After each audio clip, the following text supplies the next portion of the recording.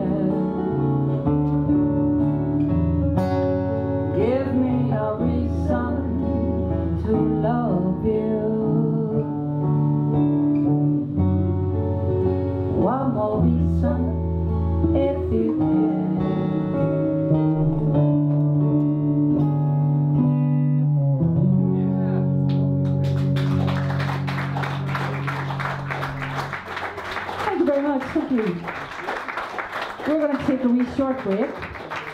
So